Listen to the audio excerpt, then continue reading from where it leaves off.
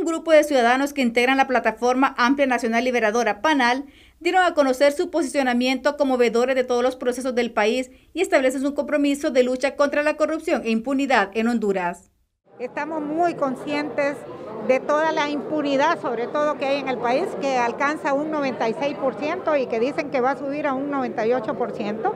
Entonces, en base a eso, haremos esa propuesta eh, y una propuesta que no solo sea de ilusión y de sueños.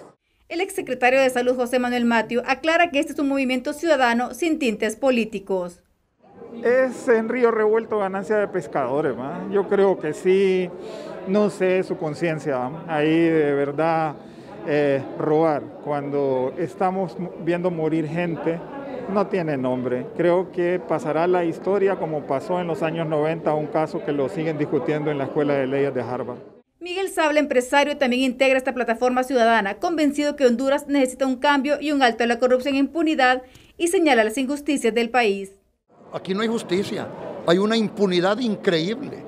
Usted simplemente lea los periódicos.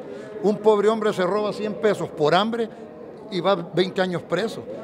Mire, y voy a dar nombre y apellido, Marco Bográn, en un país civilizado, ese hombre ya lo hubieran condenado a unas 100 cadenas perpetuas.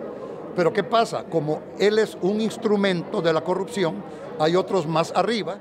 La plataforma anunció que en los próximos días estará informando de cuáles serán sus acciones en esta lucha por adecentar el país. Desde Suyapa Medios y Notifides le invitamos a que juntos erradiquemos el coronavirus. Con imágenes de Milcar Sánchez les informó Delerita.